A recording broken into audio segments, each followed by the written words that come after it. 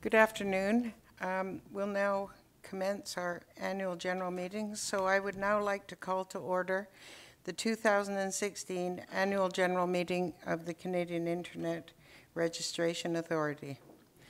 Um, You will have opportunity to ask questions at certain points throughout the AGM, and I'd like to quickly go over the procedures for that. During the AGM, we ask that you come to the microphone stand to ask questions. For those of you joining via webcast, click on the Ask a Question button on your screen, and you can then type in your question and submit it. And your question will be read in the room on your behalf. Uh, just recall that you, just a reminder that there is a 40 second delay for things coming in on the webcast. Um, before asking a question, I'd ask that you state your name and affiliation. At the registration area, members received a kit folder, and I encourage you to read the materials contained inside, including today's agenda and today's and the annual financial statements. Uh, the full version of the financial statements is available on the website as noted in your package. As a member-based organization, only eligible.ca members may vote. As per CIRA's bylaws and the Canada Not-for-Profit Corporations Act, in order to vote during this AGM, you must have been a .ca member 21 days prior to today's annual general meeting and continue as a member as of today. Those eligible members who are joining us via webcast are able to vote and ask questions and will receive instructions for doing so during my presentation. For those of you here in the room, when the vote takes place, we ask that everyone please remain in the room. Eligible members may vote by raising their voting card when a vote is called, and the voting card looks like this. If you are an eligible member, you'll find this card in your kit that you received at check-in.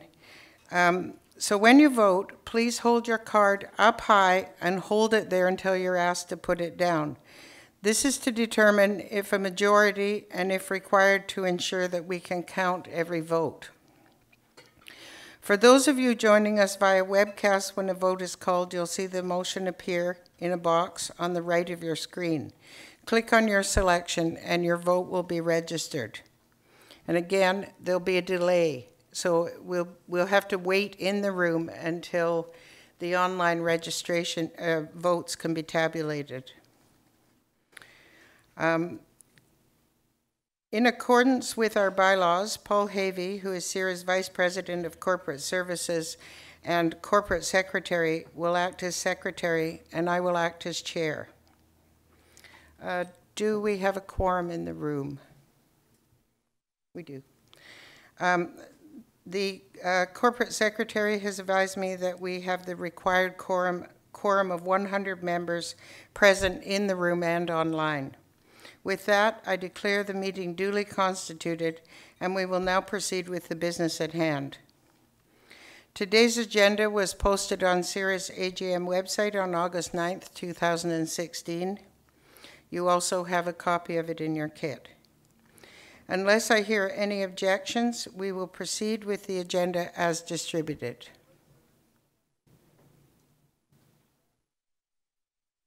Okay, I'm, I'm seeing no objections. So we will move on. Um, so the first, the next item on the agenda is the verification of the 2015 Annual General Meeting minutes. A copy of the minutes is available in your kits. These minutes were made available to all members through CIRA's AGM website on August 9th, 2016.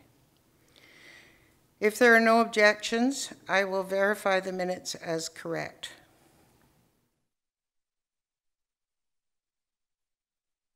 Seeing no objections, the minutes stand verified. I'd like to begin my report to you by introducing the hardworking members of your board who are in attendance today. Uh, you'll see on the screen a full listing of the members of the board.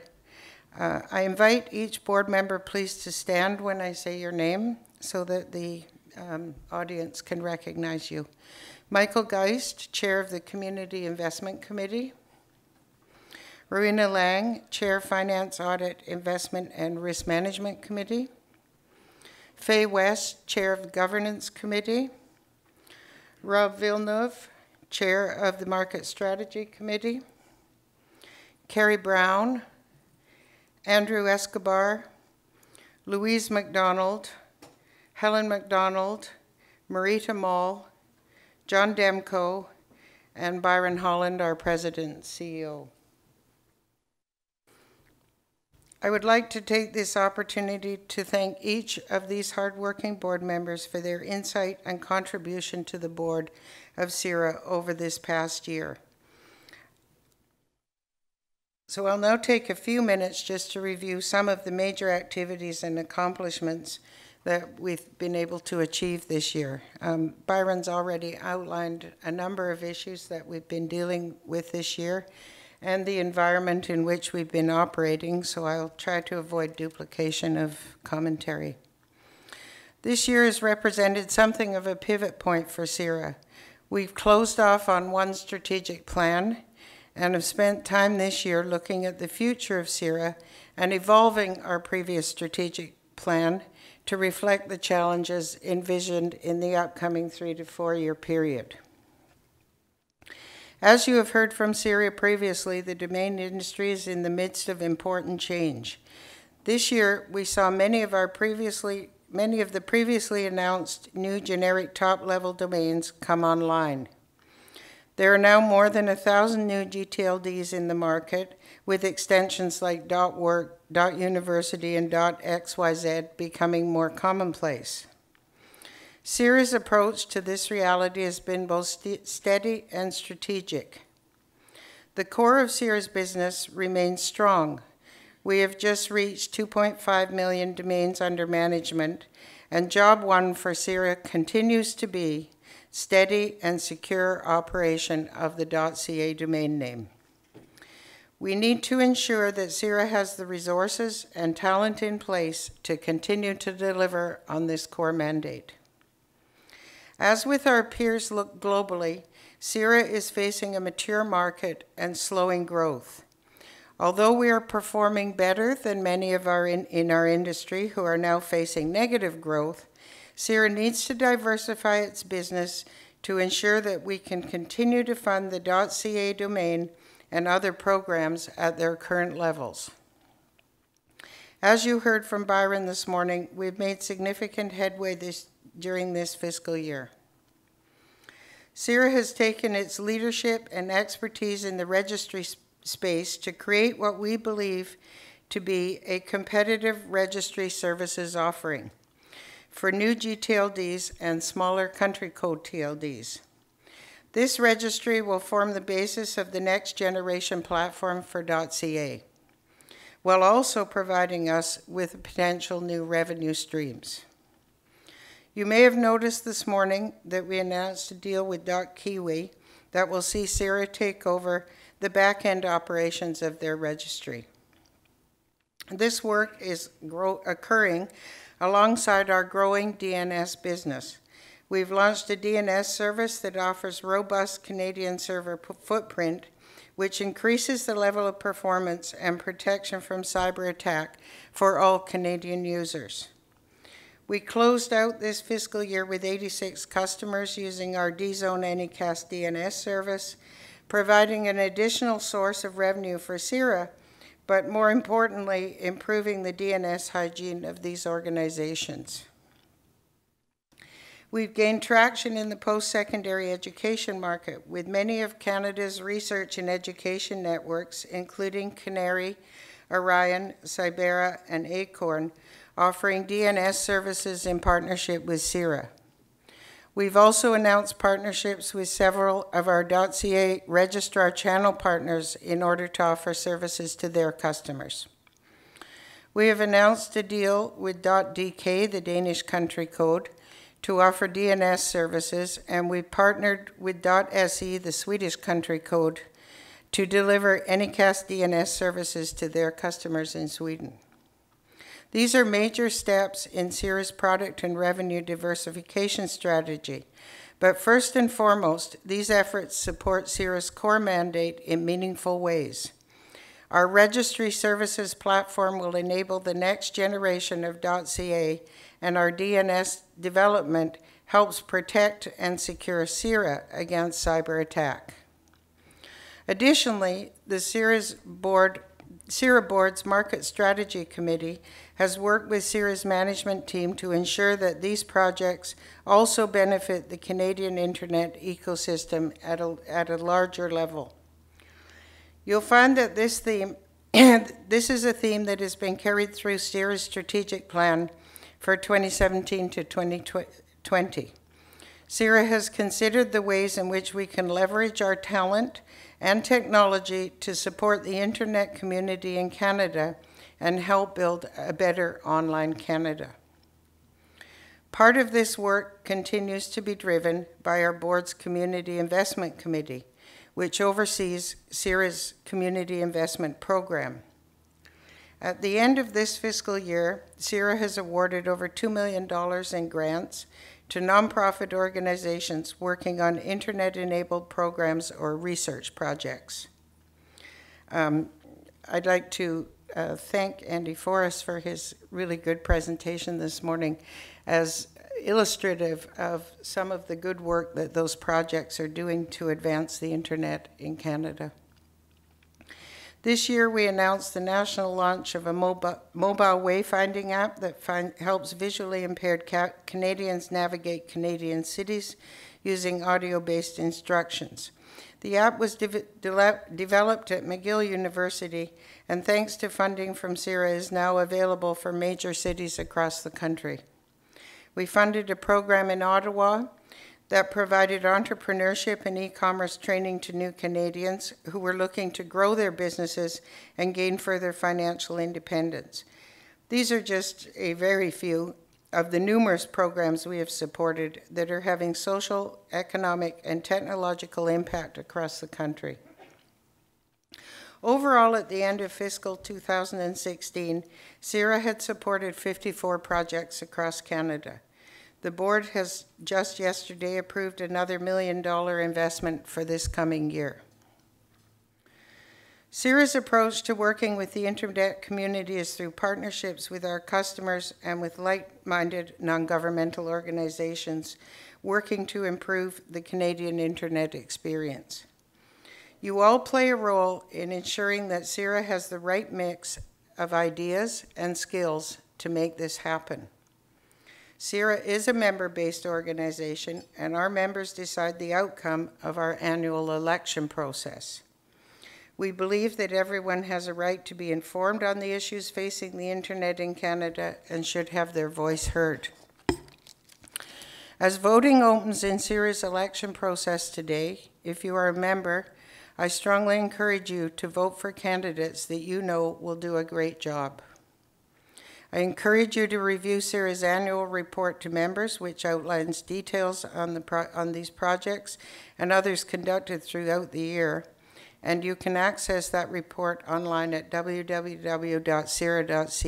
backslash annual report. For anyone interested in further details on CIRA's strategic plan, which is guiding the organization's work for the next three years, you can also find this material on CIRA.ca.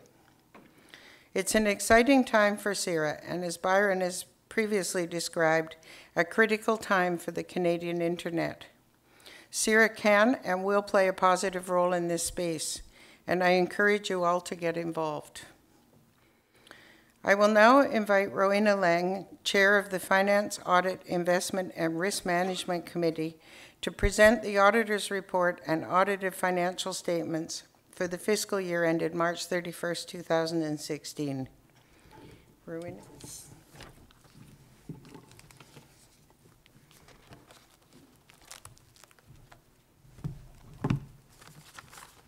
Well, thank you, Susan. I always get this exciting part in pre, uh, presenting the financials. So um, just to uh, um, let you know that the appointment of auditors will follow after my presentation, And then after that, I will invite uh, Susan back on the, um, uh, to the mic here to invite questions from the audience. I'm pleased to present an overview of the auditor's report and a summary of the audited financial statement for the fiscal year uh, ending March 31st, 2016 for you today. You can find a full version of the report if you're online. It's uh, uh, on the CIRA website, and if you're at the audience right now, it's in your kit folder. So the FY16 financial statements have been issued with an um, unqualified opinion by the auditor. In lay term, this means that we have a clean audit and that there are no issues um, with the financial statements from the accounting point of view, and that they are full, they fully represent the financial position of the organization. We will discuss the statement of operations first, which is now up on the screen. Um, total revenue for the fiscal year 2016 topped 20 million this year. This is for the first time for this organization. This is 1.1 million increase over the previous fiscal year, with the majority of the um, revenue growth attributable to our traditional domain registration um, business. Domain registration, the DUM, increased approximately by 96,000 domain names over the level of the previous year. This represents 4.1% domain under management uh, growth in the fiscal year 16.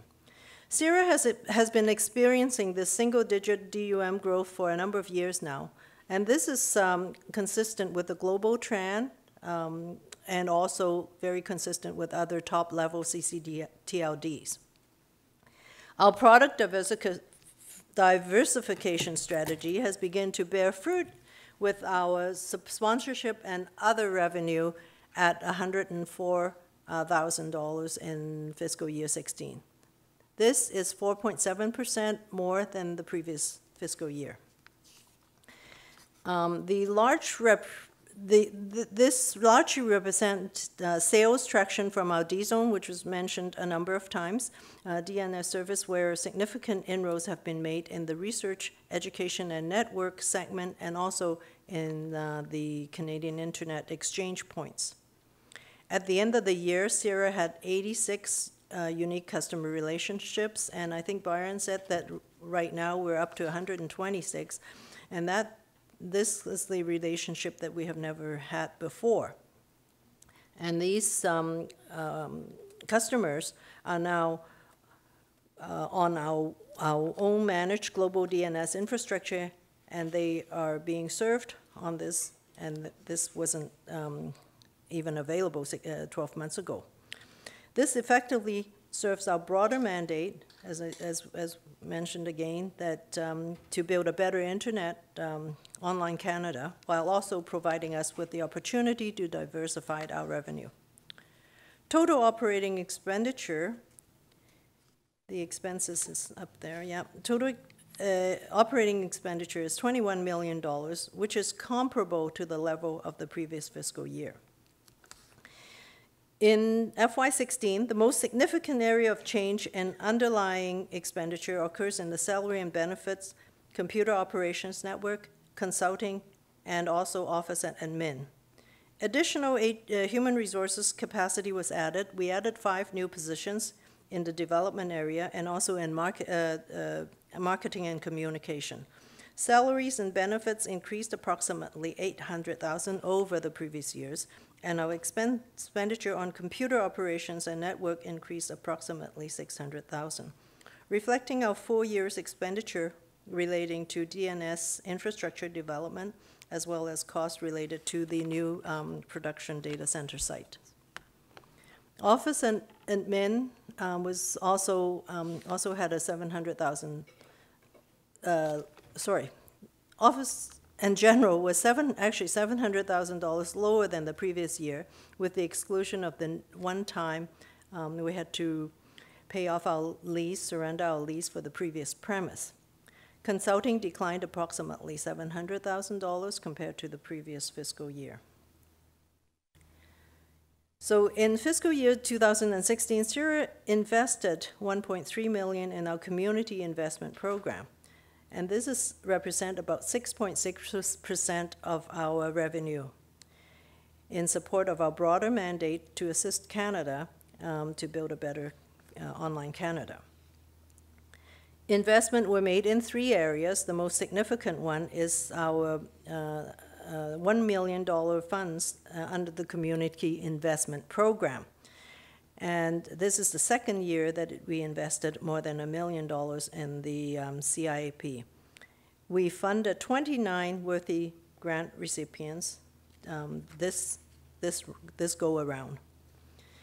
We also invested in the Canadian Internet Forum, which provides a venue for members and interested shareholders to provide their input into issues that is affecting the internet governance and the internet ecosystem. And we also further facilitated community development work and enhanced our internet exchange points. During FY16, CIRA earned $300,000 in investment income. The fair value of our investment holding fluctuate day, uh, based upon market conditions. Any fluctuation in the values are recorded and reflected as unrealized gain or unrealized loss in our statements of operation.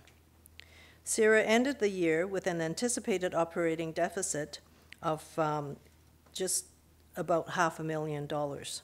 And this is again our conscious decision of the board to invest in uh, our capacity. Now let's turn our attention to the balance sheet. The slide will change. Okay. On the asset section, you will notice that um, the current asset decreased by a million dollars, but the our our capital asset increased by 1.1 million. And this is attributable to our investment in our new premises and also upgrades to our uh, DNS infrastructure. On the liability side of the balance sheet, we have accounts payable, thanks, customer deposit, current portion of the deferred revenue, as well as the current portion of lease inducement. Overall, the current liabil- liability decreased by about 400,000, while long-term liabilities increased by 900,000. This is largely reflective again because of the lease um, inducement on our new premise. The most significant change is the aggregate $700,000 increase in our current and long-term position um, of the deferred revenue. Deferred revenue total is now at 19.5 million, which is com- compared to 18.8 in our previous fiscal year. Deferred revenue, as a reminder, is uh, represent unearned revenue, and that it's CIRA's obligation to provide future service to our registrants. CIRA's net asset decreased by 500,000, as we mentioned earlier, over the pre- previous fiscal year, and this is fully anticipated in our budget. This is consistent with our decision to intentionally run a small deficit, operating deficit, while building CIRA's organization capacity and reinvesting in our core infrastructure. And this is certainly proved to be a prudent um, decision, as you can see that our product and services area is beginning to bear fruit. CIRA ended the fiscal year with our three-year strategic plan in a very solid financial position. We have um, 8.5 million in net asset and a robust global DNS infrastructure, and also started a very state-of-the-art registration platform which serves CIRA in future needs, and also it can be leveraged as part of our product diversification strategy. So this concludes my presentation um, of the 2016 financial statements. Thank you for your attention, and I'll invite Susan back to the mic here. Thanks, Susan.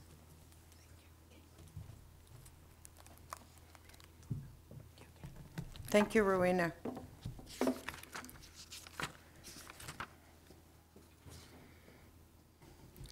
Okay, so we, um, that concludes Rowena's presentation of the financial statements, but there will be opportunity to ask questions at a later time. Um, We'll, we'll turn now to the matter of the appointment of the auditor. Um, KPMG has agreed to serve as CIRA's auditors until the next annual general meeting. does anybody have a specific question with respect to the appointment of auditors?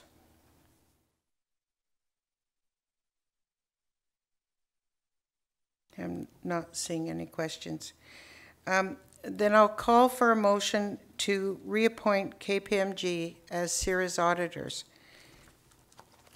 The motion reads as follows, that KPMG be appointed as auditors of CIRA to hold office until the next annual general meeting or until their successors are duly appointed, and that the Board of Directors be authorized to establish the remuneration of the auditors. Could somebody please make this motion? Could you uh, state your name, please, Carrie? Thank you, Carrie. And could we have a seconder for this motion? Helen? Helen McDonald seconds the motion. Uh, Are there any further questions or discussion surrounding the motion?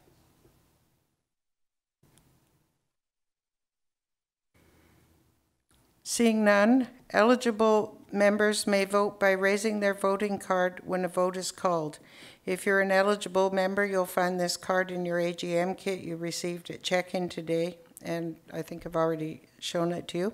Um, When you vote, please hold the card up high until you're asked to put it down, because we need to uh, do a count of the of the cards. Um, And for those of you joining via webcast, when a vote is called, you'll see the question appear to the right of the video. Please click on your selection and your vote will be automatically registered, though there will be a delay before I see it. Um, We may now proceed with the vote. Will all those in favor, please raise your voting card now. And if you're on the webcast, will you please vote now?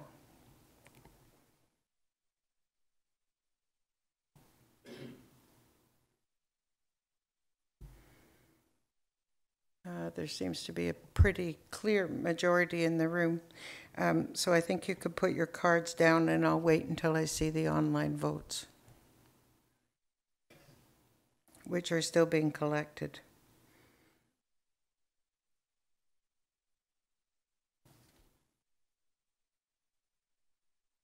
Forty seconds is a really long time.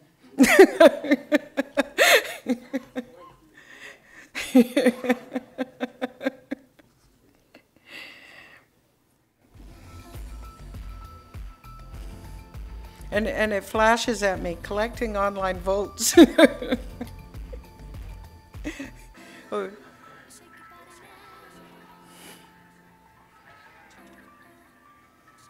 Okay, well, while we're waiting for this to, I'll, I'll just take a, um, a moment to remind you to check out the annual report to members that, that you have a copy of. Um, you'll also find a letter from Byron in your kit that uh, outlines a few of the key themes uh, that are highlighted in the report. Um, But if you're interested in getting updates on CIRA's product development, team, team building efforts, or community investment work, uh, the report's a good place to start. Uh, But there is additional information on the website also. Gee, it's a simple question. Okay, they're coming up now. Uh, slowly.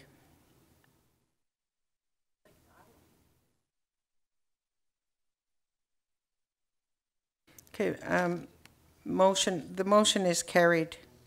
Uh, KPMG will serve as CIRA's auditors until the next annual general meeting. Thank you. Um, We'll now move to the second um, matter, which is a member's resolution confirming um, director's amendments to section 3.06 of CIRA's amended and and restated bylaw number one. Uh, This has to do with term limits of directors. On June 16th, 2016, the board adopted changes to Section 3.06 of CIRA's amended and restated bylaw number one. The information about these changes were posted on CIRA's AGM website on August 9th, 2016. The changes relate to term limits for directors. Uh, Previously, we had no term limits for directors. The amended bylaw imposes term limits for directors Um, And to put it in context, directors' terms at CIRA are currently three years.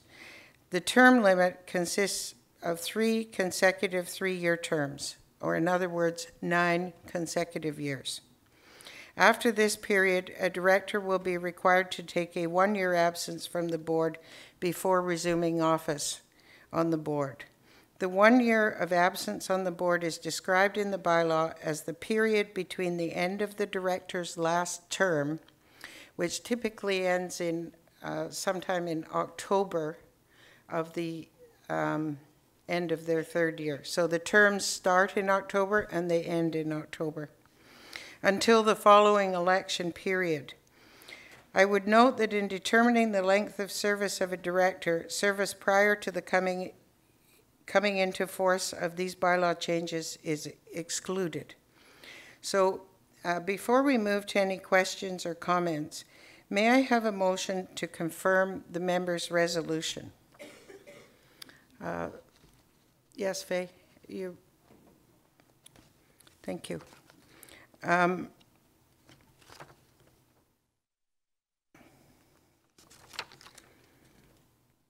Okay. May I have somebody second the motion, please? Gentleman in red. uh, Could I have your name? I'm sorry, I can't see. Peter Bernier. Thank you, sir. Um, Now we will open the floor to any questions and discussion of the motion.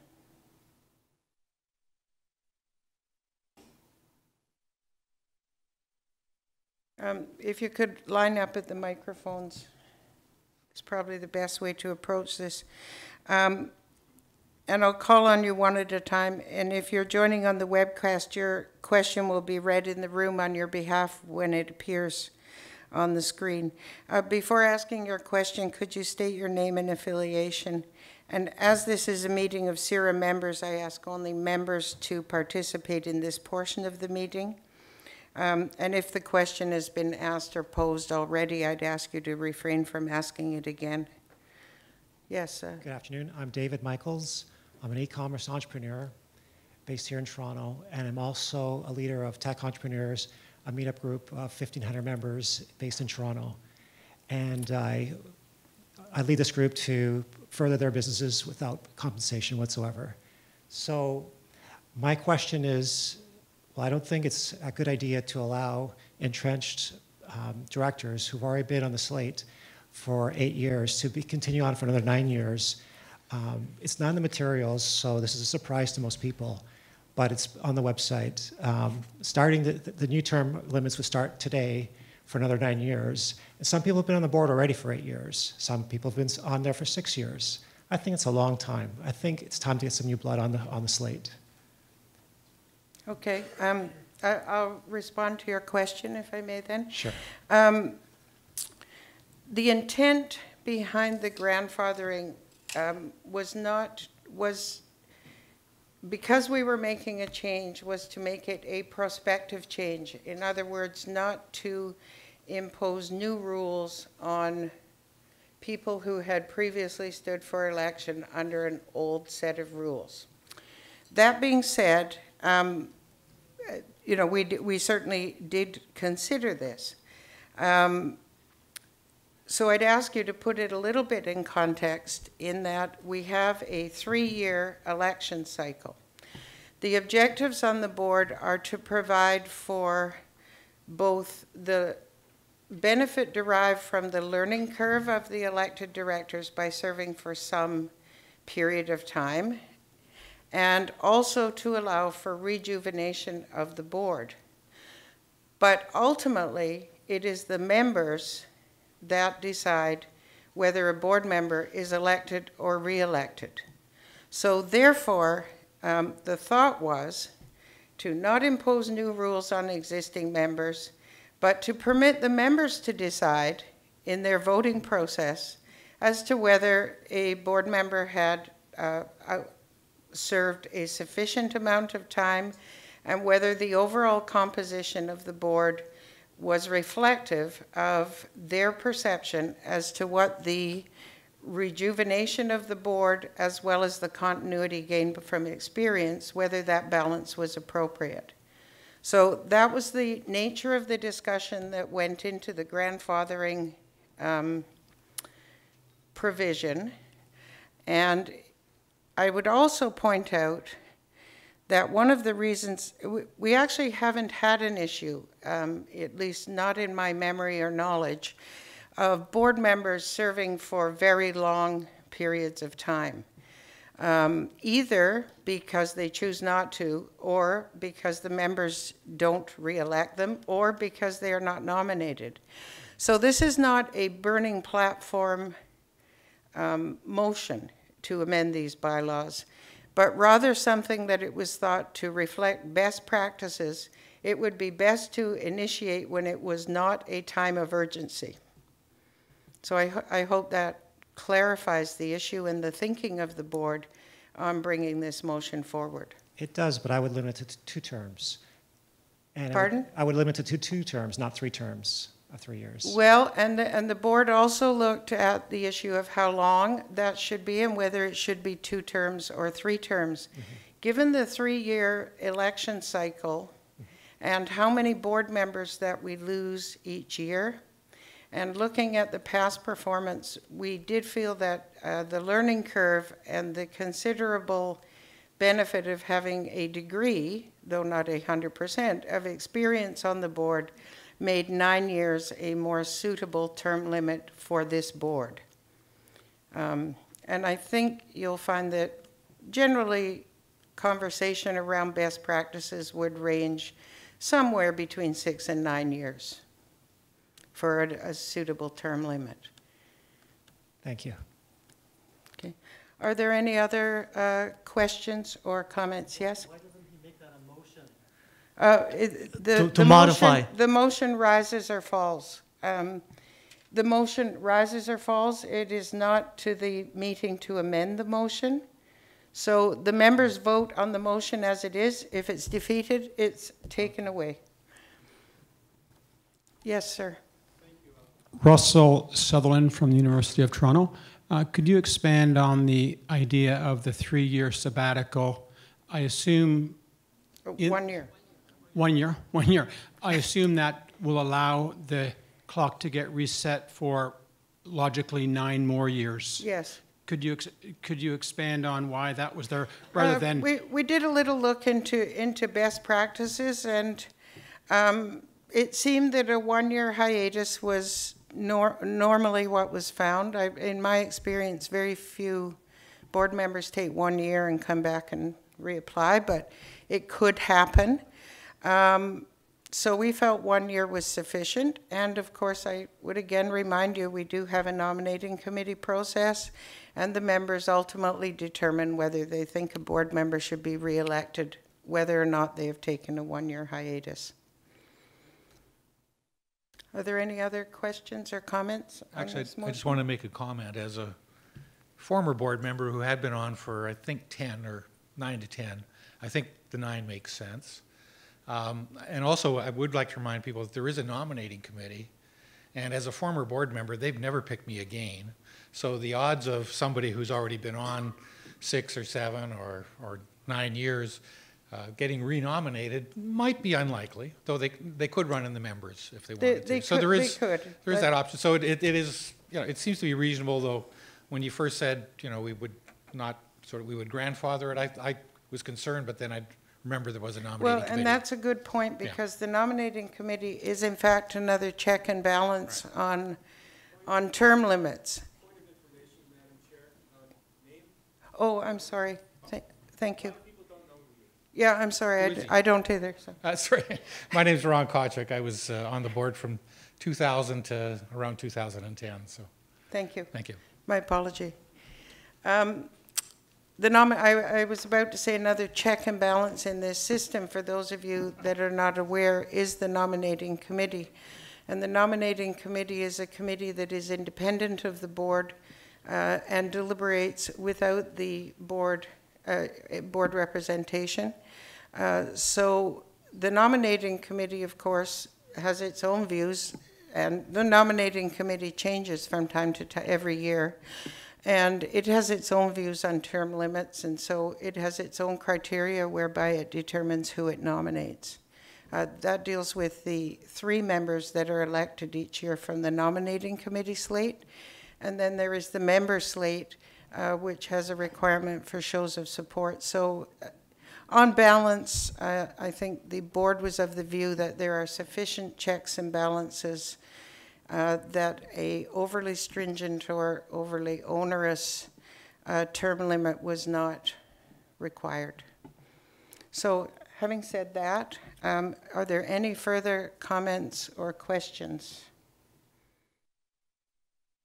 Okay, seeing none, uh, then I think we will proceed. Now I've lost track of where I'm at, sorry.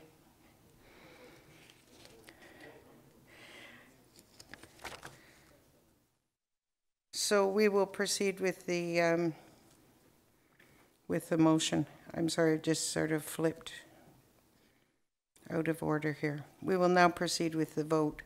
Um, So would all those in favor, please raise your voting card now, and if you're on the webcast, would you please vote now?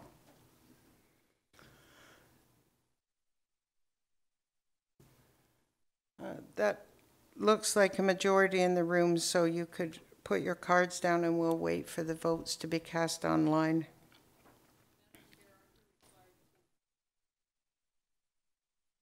Pardon?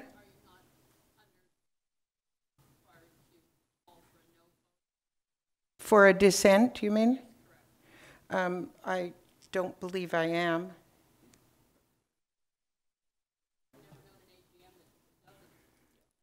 Ne- Neither have I, but, um, okay, um, we, we, let me, uh, get some input into that. Is Albert about?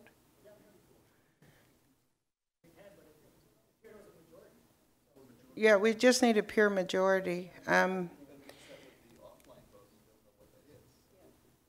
Well, I don't know what it is yet, because I'm waiting. I do, I do get the number voting online and the number voting for. No. I, all I get is whether there's a pure majority.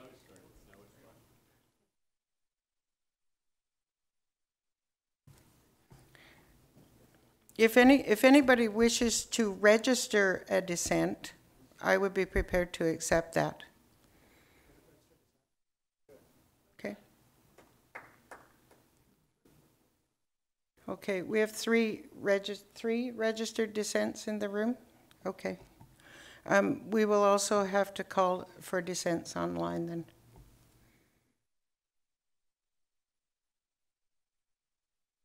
I don't think this is on. But we'll have to wait for the vote first. Uh, Just to help pass the time, since there's a 40-minute window, I wouldn't have normally asked this. Or Okay. 40-minute, 40-second. 40-second window is, um, I, uh, I'm Josh Leslie, and uh, I'm a social entrepreneur.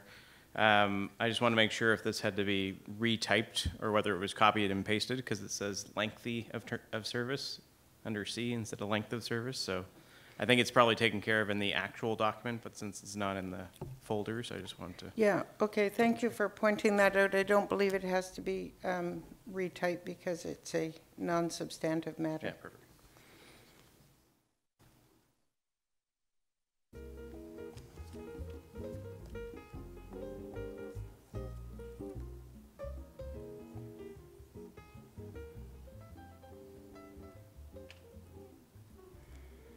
Okay, um, I know many of you in the room are not presently members of CIRA, but um, I'll use this time to remind you that there's an opportunity to become a member of CIRA at this meeting.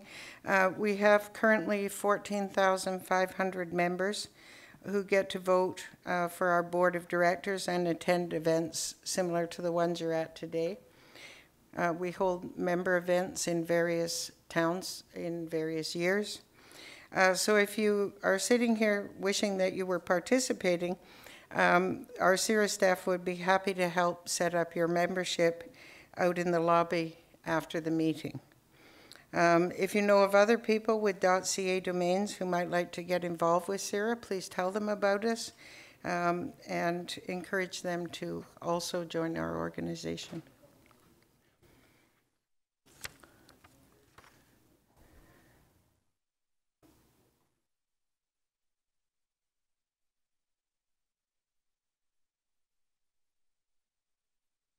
I think we're getting close.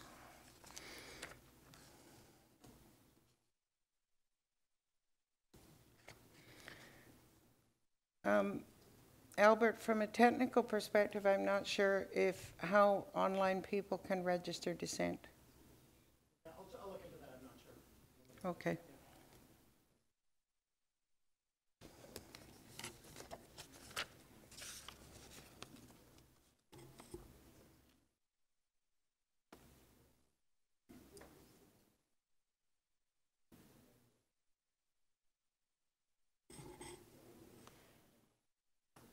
Okay, the majority online have also supported the motion, so the motion is carried.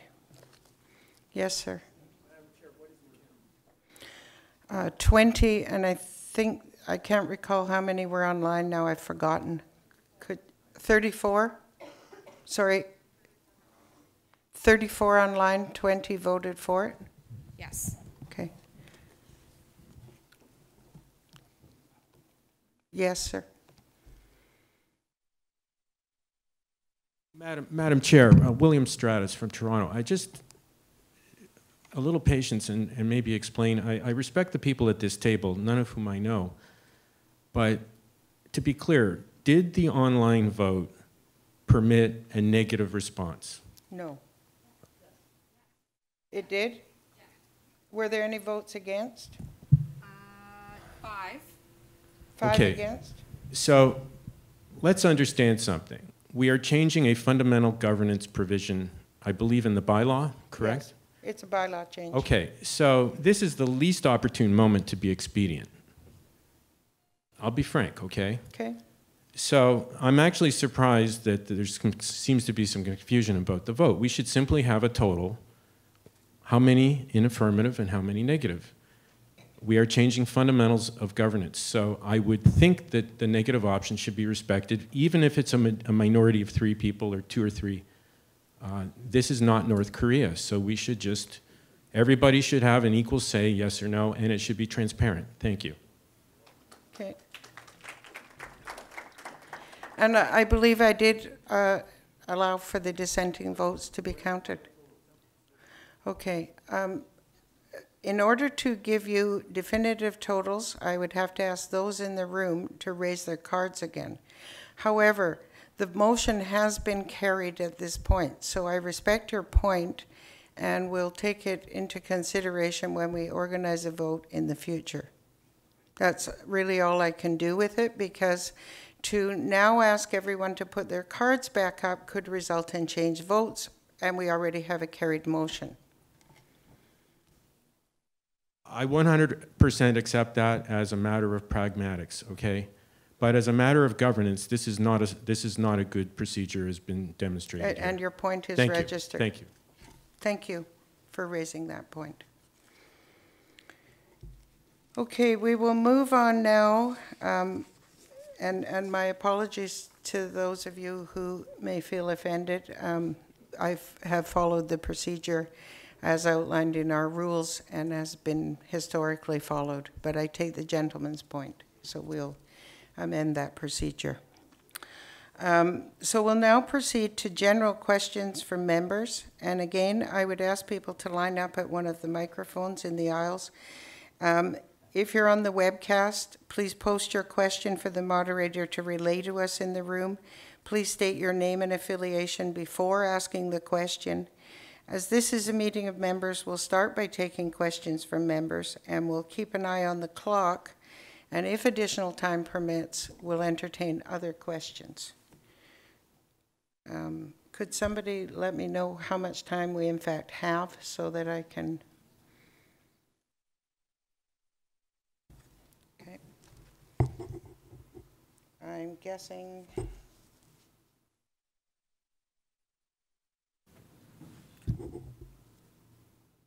I'm guessing we have 15 to 20 minutes. Um, I think you were there first, so I'll take your question first. Thank you, Madam Chair. William Stratus from Toronto. I've been a member for a long time. Um, Welcome back to Toronto. I noted with some dismay that last year's meeting, nobody asked questions, according to the, That's correct. I cannot believe that. And, and. I guess you should I- have come to Vancouver. No, no, no. It's the West Coast mentality. So welcome to Toronto because we're not letting you out that quickly. So I did come with about eight questions, and I respect the fact there's other people, but I would like perhaps the opportunity, since I am on target with these on, on topic, maybe I can cycle back with some. I'll, ta- I'll, I'll start off with one I gave Mr. Holland a preview of. Um, uh, he made mention in his comments very specifically about opening up enterprise opportunities, enterprise revenue. Now, in your comments, Madam Chair, you specifically referenced in the on page four of the report sponsorship and other revenue, and you quoted that other revenue represented enterprise revenue for the fiscal period. Is that correct? And it was around $104,000. Is is my my There point? might be something else in there too, but. Okay, well, it says and other, and other revenue, but I, I'm sort of concerned, or at least maybe it's a question of transparency. There should be an extra revenue line. It should say enterprise activities or enterprise operations. If you're opening up uh, this new diversified stream, uh, it would be nice to see exactly where, because it sounds like the, from the chair anyway, there's a high opportunity seen there for diversification of revenue, and yet it's not broken out, even as small as it may be. It, it's very small. Well, It- I- In that fiscal year, it's very small. And yet it's a major highlight of the keynote. So there's kind of a, a dichotomy there. Um, uh, I am a little concerned as well about uh, the Market Strategy Committee and whether it properly assessed what I would consider the commercial risks of selling enterprise product to enterprise customers with all sorts of risks attached potentially. It does diverge somewhat from the not-for-profit uh, mandate. Uh, That's not for me to judge necessarily, but uh, there is some concern perhaps about the risk channels you, op- you open, even as you open revenue channels. So So- maybe you could comment a little on that. Could, uh, perhaps I reframe that because we're listening to questions. Uh, Your question is, um, what has the, specifically the Product Strategy Committee uh, undertaken in terms of its due diligence and, and the board itself? Well, perhaps that's a more general question. The real specific question was it's not, it's not broken out. And I think it's not transparent for the members to see where the, the uh, direction of the corporation is going in terms of its revenue. So uh, it, Okay, well, I, I would suggest it's not broken out because it's not material. Um, So, which I think is apparent from the financial statements, that it, that the revenues in 2016 are not material. so the auditor made that decision, or was that a management presentation issue? You're citing from the annual report, I think? There's a more four. detailed report on the website, I'm sorry, okay. I think. I don't know. Yeah, well, go have a look, and yeah, I'm sure you'll let me know. Um, And, and I'll respond to your question um, with respect to the, um, you've characterized them as enterprise activities. Um, I think when Byron spoke, he highlighted the issue that the CIRA, that CIRA is facing, and that is the flatlining of the domain registrations and therefore revenues. So um, we have a shop that, you know, has technical expertise. And so the board looked at this. Actually, it was in the strategic plan of three years ago. We've been working on this initiative for three years already, at least three years. Um, and we had to build capacity, both in terms of personnel and infrastructure. Um, and it's been a, a slow build, let's put it that way. So, one of the things that the board was extremely clear about was that any such initiative had to pass two threshold tests. First of all, it certainly needed to be within our purposes, which are the operation of the registry in Canada and to do things that promote the internet in Canada. I'm paraphrasing. Um, so things to advance the internet in Canada. The board was also extremely concerned about the impact on the stakeholders, notably the registrars and other stakeholders. So the Product Market Strategy Committee was formed, I think it, this is its third year, roughly its third year now. Um, and the, part of its mandate was to determine that appropriate filters were in place in order to ensure that projects undertaken, first of all, met those objectives, that is, they fell within our purposes, and that they advanced the state of the internet in Canada, and that they also did not constitute a competitive threat to our stakeholders. And then beneath that were the, th- the other filters that you're discussing. And those were things like what kind of opportunity does this represent? Is this a business case? Is most of the cost or the work that goes into it something that CIRA would be engaging in in any event to enhance our own infrastructure? And what type of risks are we undertaking? And you mentioned one or two of them. And are those risks manageable? And how big a risk are they? So my response to you would be that the board is satisfied that the committee has done that work, and in fact, uh, the board um, endorsed the filter that was brought forward at yesterday's board meeting, which has not been a hasty process to get that done. Um, so I, my, my response to you would be, yes, I think the board has done all due diligence around this. Um, and I don't think it's done. I think it's a continuous effort. As new concepts and new ideas come online, this filter will be applied before any advance is taken. There's Right. also the jump off. You start something and it doesn't quite turn out the way you thought it would.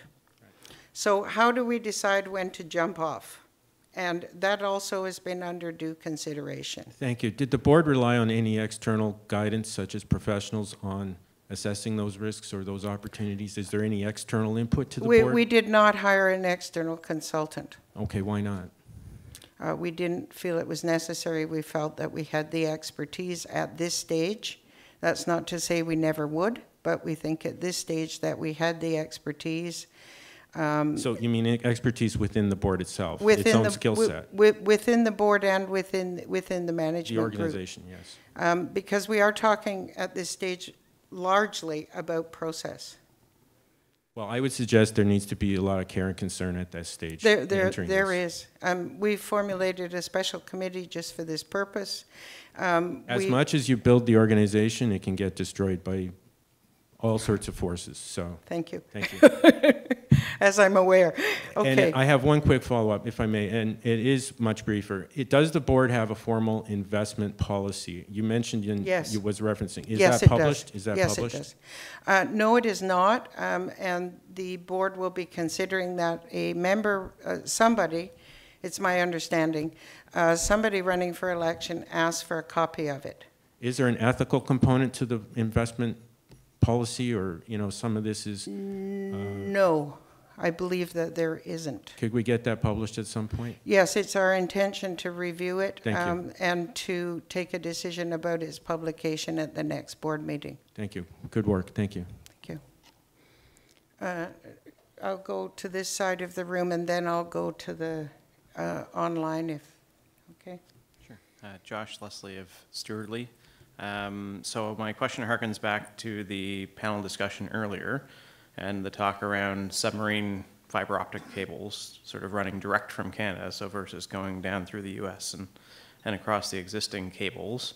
Basically, my question is twofold. So one is, is there any place to find out information about like what exists, if anything? And the second part of it is, what is or would be CIRA's role in, in administering, driving sort of um, an agenda around getting some of those established?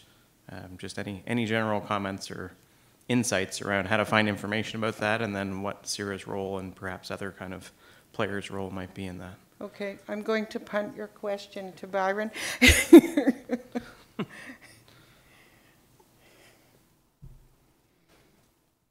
Five.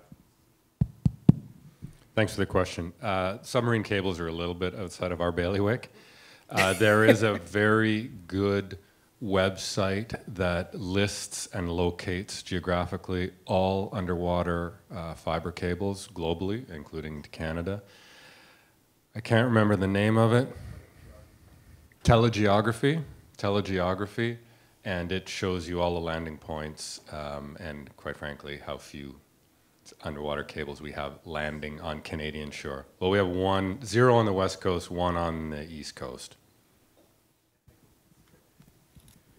Okay, um, I'll go to the online question because it's been sitting here quite a while. Um, the question reads, I understand your wish for continuity within the board and appreciate your explanation behind changing this prospectively. Can you provide a rough estimate of the average tenure of the current board members? I'm reluctant to do that off the top of my head, but Albert, could you um, provide me with that? Yeah? This doesn't answer the question exactly, but in my tenure as CEO over eight years, I've had 34 board members on a 12 member board. So that gives you a sense of the turnover and the refresh rate. Uh, as a CEO, I would suggest that is significant turnover. And uh, as a board chair for now coming into my fourth year, I would suggest that the turnover is fairly significant also. Um, I think you were next, I sir. think, I think she was next, actually. Was she? Okay. I'm Jillian Savechko, and I've been a member for many years, and a minor entrepreneur in respect to what these everybody here seems to be. However, I'm very interested in the direction of the internet, and I would like to have some direction from the board as to the consideration of how or if you, you are going to have any part in keeping internet free. In other words, no government controls, you can't do this, you can't do that, you know, it's, it's just growing. Because it's our last me- communication method worldwide where we can actually discuss anything on the internet. Okay. There's been a lot of talk about that in the media Um, and online. okay, I'm having a little trouble with the question, so Yeah. um, maybe you can, can you reframe it a little bit for me? I'm sorry. but- Okay. There's a lot of discussion on the internet, especially by governments, of taking control of the management of the of the go- of the CN, of the of the internet. I would like to know what CA, the CA is thinking of in that direction. Okay. um, i- Or if it is comes your- under yours. Is your question whether, um, whether CIRA would intend to engage in lobbying activities vis-à-vis? No, not No? necessarily lobbying. Just if you have any intention or have you even looked at it in that respect. I'd just like to have a, a sense of where CIRA stands on the, the c- consideration of a free internet. Okay. um, I'm going to let Byron take a shot at that, and, and I may add something to it after he's done that. I'm going to make an assumption that when you say there's been a lot of media attention lately, uh, it's vis-a-vis the U.S. election. Senator Ted Cruz talking about uh, the oversight transition from the U.S. government into other government hands, and it's becoming highly politicized. Yes. That's what's in the media a lot right now. Yeah, and it goes even further back than that. Sure. So I would say that um, CIRA, for all time or most time, has been a very strong proponent of a free, open, permissionless, borderless internet. Full stop. I would also say that uh, while I have nothing to do with government per se, they have been strong proponent, Canadian government have been strong proponents in the global internet ecosystem of the same. Uh, but I certainly don't speak for them. It's just an observation of what they say. Yeah. What is happening in terms of what's being reported on the media right now, to a very great degree, has been blown significantly out of proportion because the transition that's happening, in actual fact, is a very, very specific technical function that's being talked about, and it's been blown out of all proportion for partisan political domestic gain in the U.S. election season.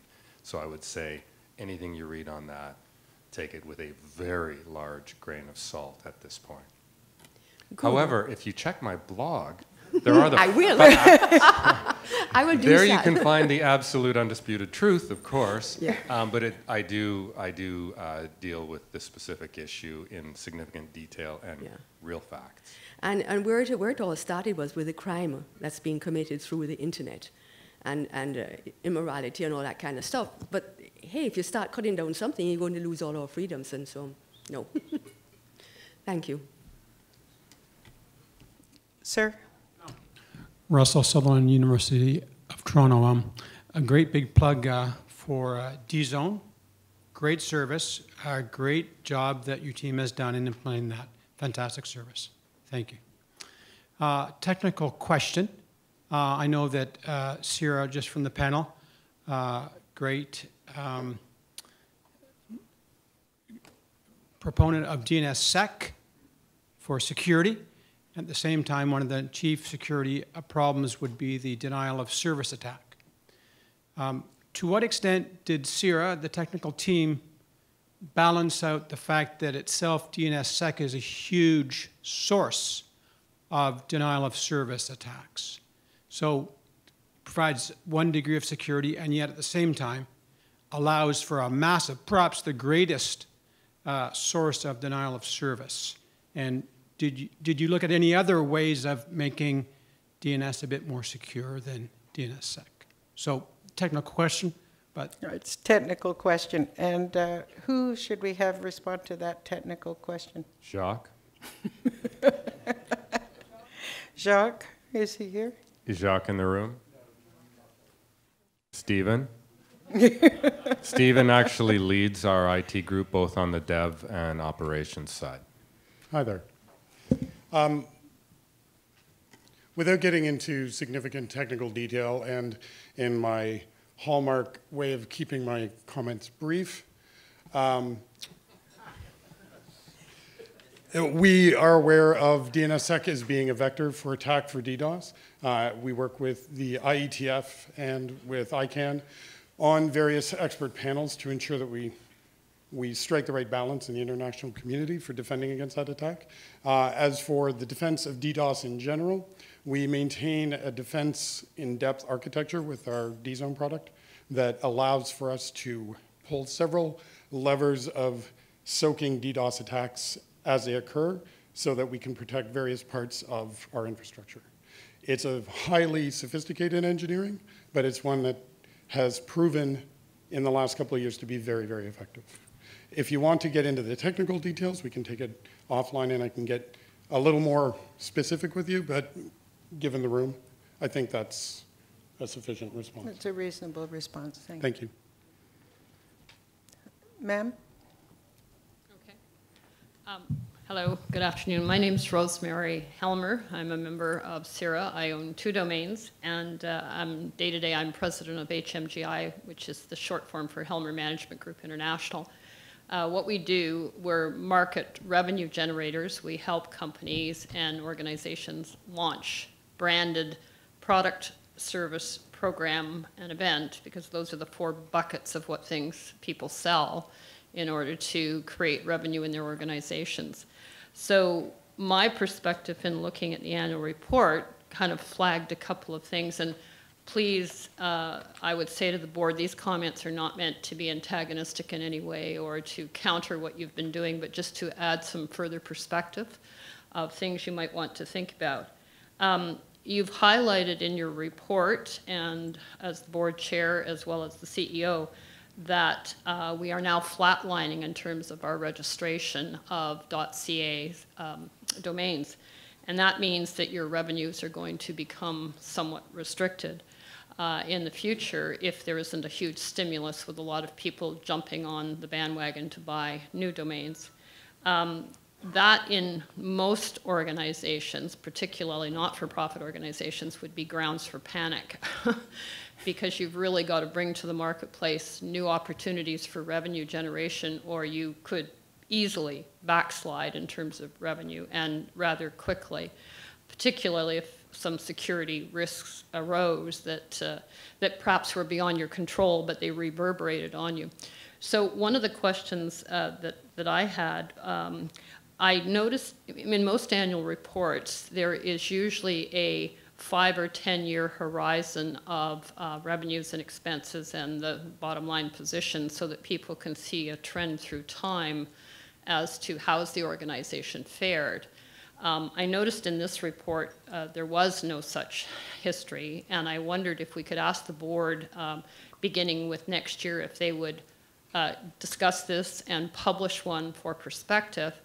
Bec- and, and the point I'm trying to underline is this, is if one was to just take a look at the two years that are presented here, in both years, we've had a deficiency of revenues and we've lost money, and that might well be appropriate in terms of investment it, when, of some particular initiatives you've been taking and, and prudent, and It's intentional. it's intentional. It is intentional. Yes, you've made that very clear.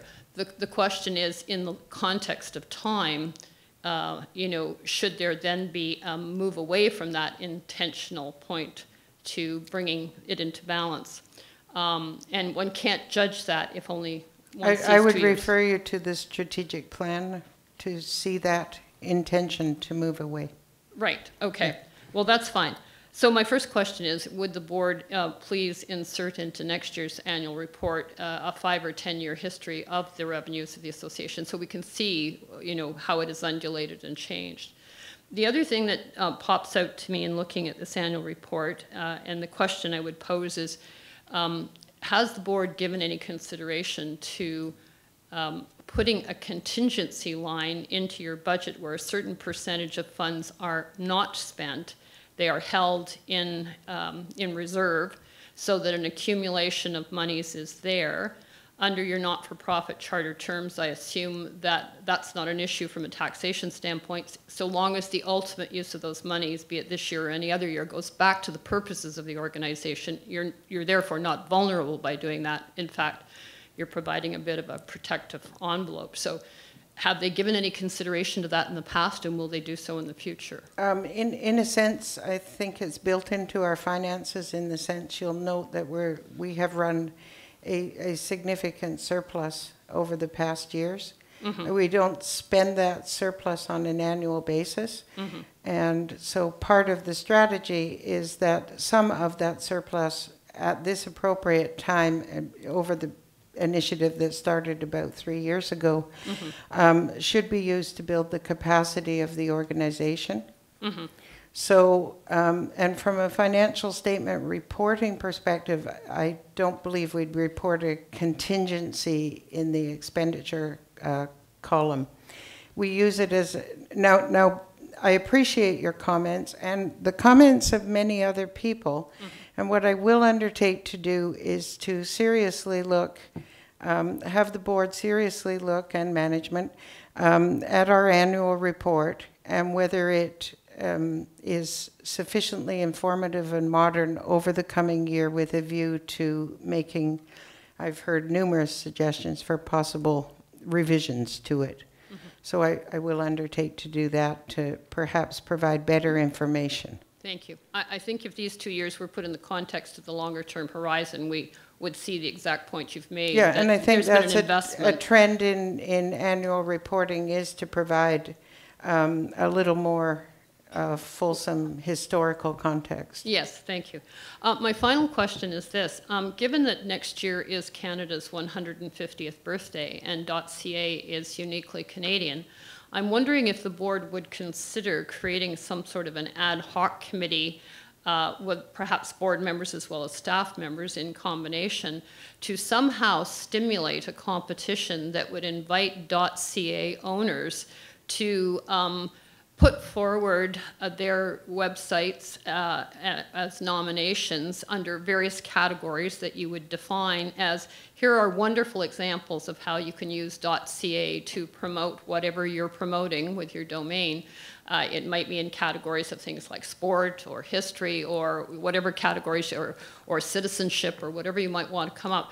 But I think it might do a lot to uh, stop the backslide of people deregistering domains because they acquired them at one time, they sat on them for a while, and then they let them go. If, if people are actively using them, then of course they won't relinquish them. Uh, the only thing they possibly do is maybe sell it to someone else. But I think an ad hoc committee that would stimulate that sort of a contest would do a lot to highlight the existence of CIRA and the importance of the .co domain. So is that something the board would consider? That, that's a, that's a great suggestion. We'll, we'll take that under consideration. Um, but just to point out, actually, our domain registrations are not backsliding. Um, they're just not growing as fast as they used to. Yeah, but, but we certainly will take that suggestion. It's a great suggestion. And Thank you. Thank you for making it. Yes, sir. Hi, uh, Ron Kochek again, I, former board member. Um, Today I heard a couple of interesting things It kind of got me thinking. Um, The current internet is this IPv4 thing that's kind of the internet of people, because a lot of people use it. Um, And it's really a north-south network. And Paul and Byron and a few others would love to see this IPv6 grow and be the Internet of Things. And to, as far as I know, things don't need to communicate over huge distances. Uh, they got to get to the local repairman or the local coke vendor to re- replace their thing. So, would it make sense for Spira, CIRA to actually spearhead a Canadian IPv6 network? Because you're then, you know, you're building a whole new highway, and you're not dependent on the old highway. Just, just a suggestion based on the random thoughts I heard today, and they were quite interesting. Um, and I do have one other comment, and that is, you do have a huge contingency fund. It's $20 million, I think. But Mm-hmm. We you just only, don't call it But that. you only earned, but you only earned 291,000 on it, and I, I'm the treasurer of a condo, and I earn a lot better return on that on GICs, so.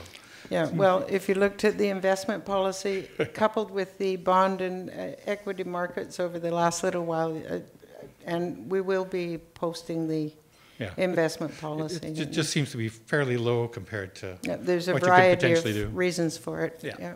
with zero risk. Okay, thank you. We seem to have a queue developing. It's okay to go ahead? Go ahead. Okay, thank you. Thank you. Uh, My name's David, and I'm from the Niagara region. I have a question with regard to the um, uh, go-to-market strategy that CIRA has implemented. It appears from my perspective that the, the, the focus of the CIRA business strategy is at the technology end of the internet, and that very little effort has been put into analyzing the end user and with human behavior and how they use technology, interact with the web. Um, I was wanting to know two questions. One, does the organization have any kind of an accessibility strategy plan they want to implement that engages the end user? Um, you talk about flatline registration, you talk about low levels of membership engagement, and I think that there needs to be some kind of strategy, accessibility strategy within the business plan to engage users. Accessibility is really a measurement of productivity where people use products and services, their satisfaction, their level of productivity, and of course, it affects major impact on accessibility standards on people with disabilities. So the question is, what is the accessibility plans going forward that affect the end user? And the second question is, why is the board of directors have no advisors on there that represent the disabled community when Stats Canada shows that one out of seven Canadians have a disability and one out of five Canadians, if you consider health and aging, it has a, some sort of a significant disability. So you need some kind of an advisor that represents that major market sector, not only for strategy, but human resources. Okay, um, I think um, your, your second point is a, is a suggestion. Um, I- do find it quite complimentary that we don't have any elderly people on the board. This is great. Um, But, but, but it's true, we don't have a, a strategy vis-à-vis uh, persons dis, with disabilities. And um, we, we will incorporate that into our upcoming discussion. Um, It's a constant challenge for us at CIRA to identify our stakeholders, uh, the most significant of which is our members, and the value proposition to our members and the appropriate forms of communication. And it's been a topic of ongoing discussion, um, and it's about to become a more pointed discussion because it's on the agenda for the upcoming year, uh, to try to better um, identify how we, A, communicate out to our members better, but how we also receive more timely and ongoing communication from our members, which I think turns to your subject of accessibility. And correct me if you think I haven't understood your question correctly. Um, but it certainly is top of mind for the board at this time, and certainly will be the subject of some considerable discussions this year. Not to say that it wasn't top of mind in the past, but it seems to have been slow coming to resolution.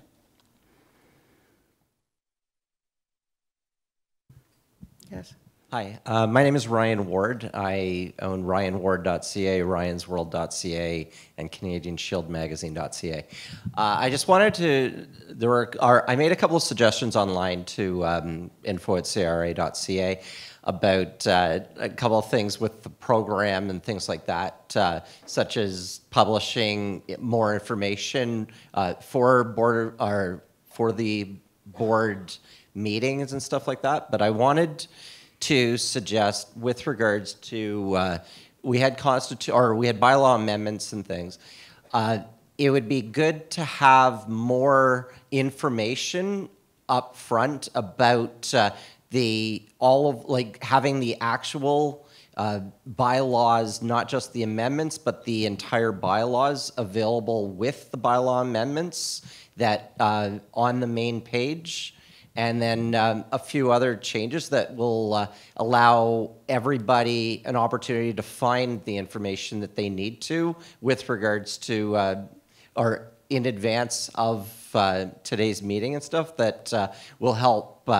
The main one would be the bylaws. I think the bylaws are on the website, aren't they? They are, I- but they're not in a easy to find format. It's it it took Yes, I've heard that complaint about the website a few times, that things are hard to find. and that's and maybe and then I really like the idea of the Canada 150th, and uh, I'm writing a choose your own adventure webpage right now that I'm, uh, and I think that there's a lot of people that have uh, artistic talent, and having a contest or something like that that uh, would be to get more people involved and make people aware of what CIRA is and what uh, Canadian domain names are like.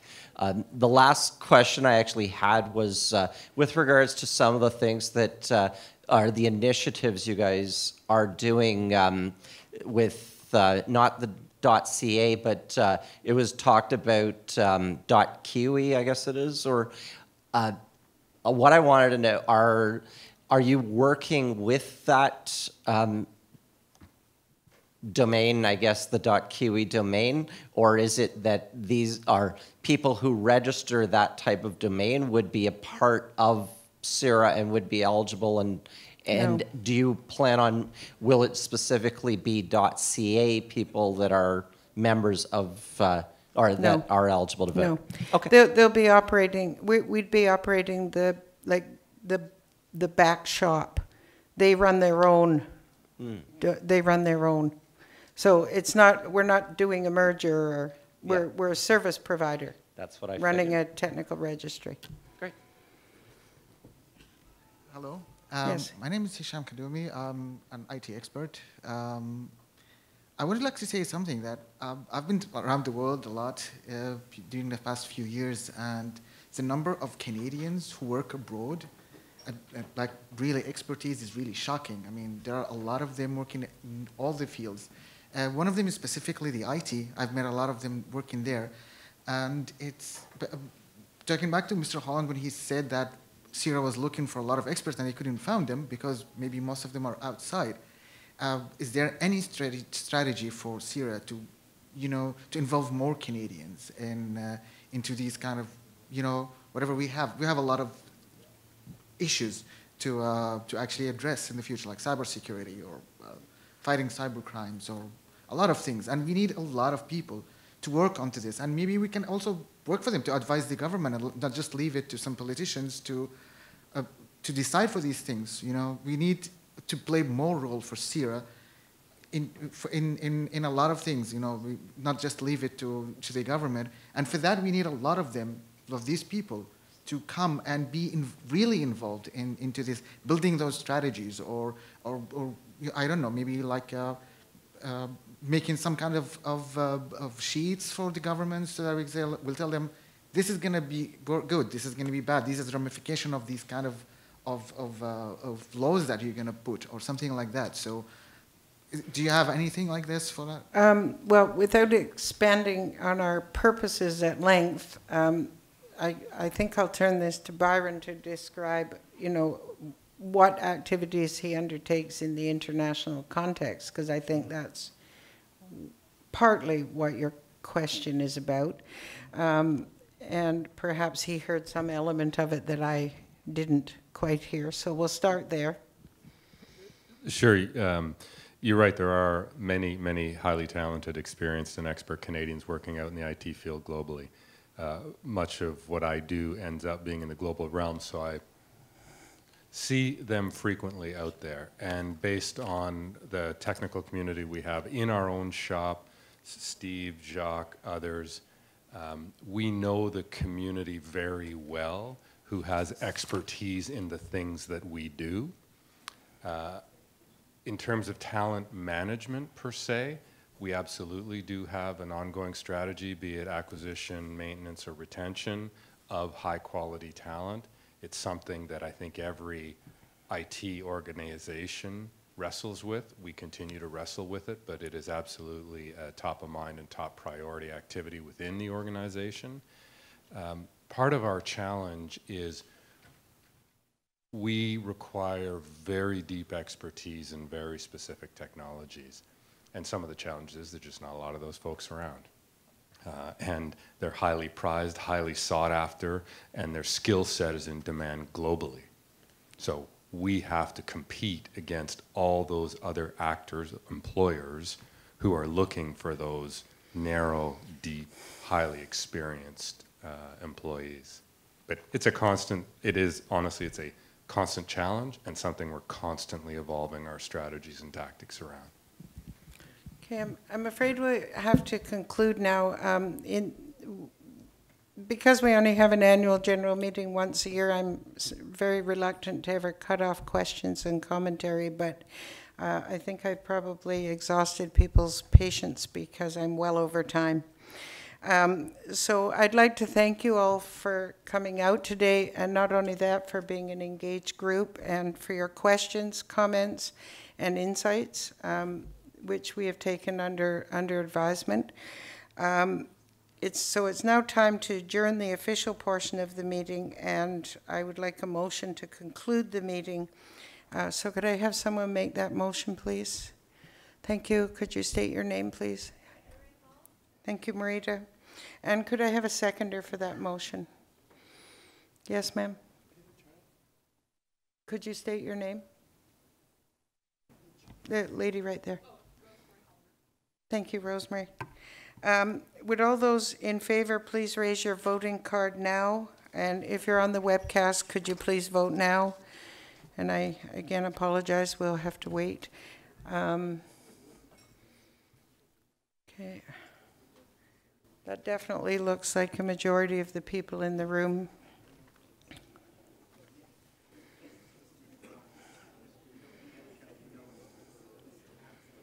So this should be the last time that you have to wait for these votes to come in, so um, we'll just give it a few minutes. I'm also aware that I'm cutting into your, into the last speaker and your uh, social time, so.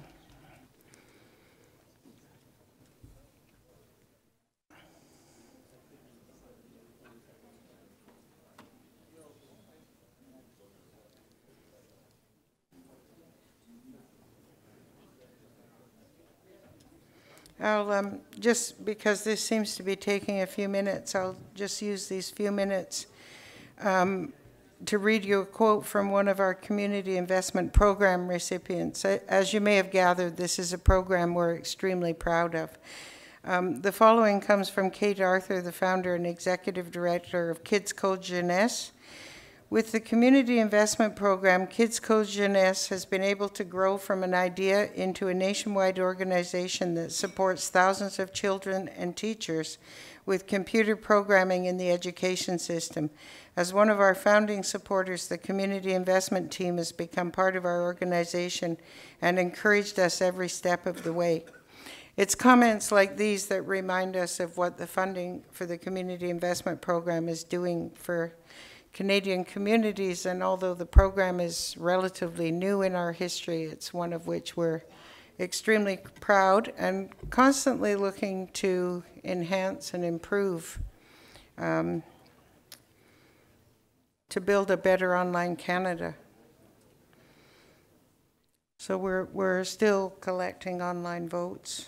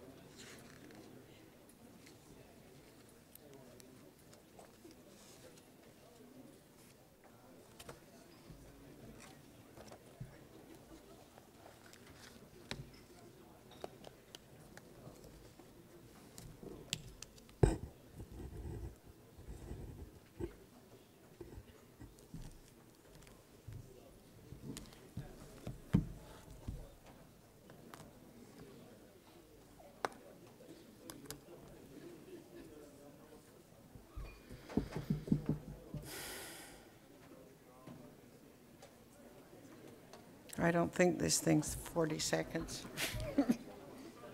So I ran a full hour almost over.